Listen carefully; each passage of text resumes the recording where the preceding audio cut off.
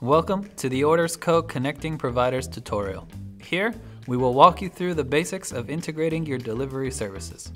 By now, you should have already completed filling out your business information and hours of operation.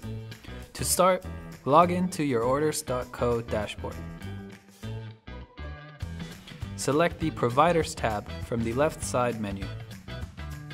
From here, simply click Connect on the services you're using enter your account information, and finish by clicking Connect below.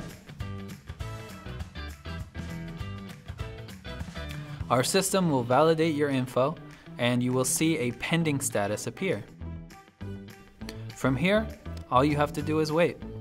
Once things are ready on our end, we will send you an email with further instructions to complete the integration process.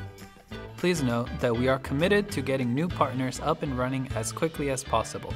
But if you have any questions, feel free to contact us for details and status updates. If you haven't already, you can proceed to the website and Stripe Merchant Services tutorial or the Creating a Master Menu tutorial. Links to both of these can be found in the description below.